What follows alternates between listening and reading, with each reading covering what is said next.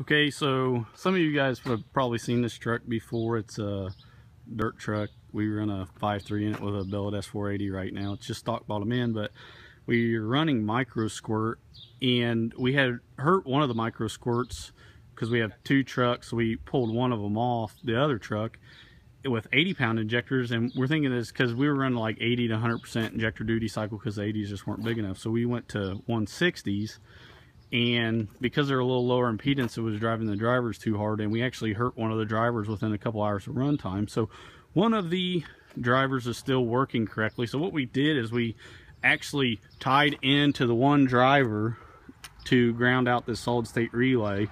And so one driver is actually driving both banks at the same time and that it's just a hell of a solid state relay. Um, so far it's idling and running to five grand or so but I, I guess we'll get it up on the trans brake here. We're hoping uh, we're going to run MS3 Pro, but there was a race tonight, and we heard it last weekend, and we decided we wanted to race. So we started working on it Wednesday night, and actually we had something wired up wrong, so we filled the cylinders with fuel.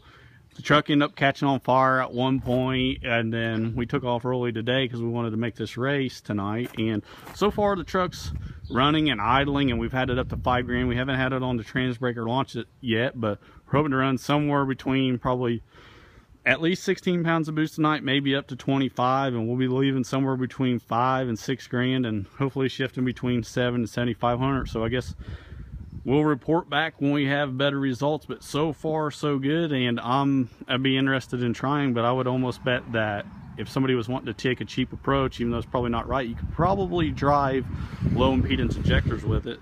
So um, I guess later I'll try to post up some idle videos of the truck and maybe if we make get any good passes in tonight we'll we'll post that up and let people know what our results are. So if you're having this issue it's uh it definitely is a fix but we'll see how well it acts when we get up to high RPM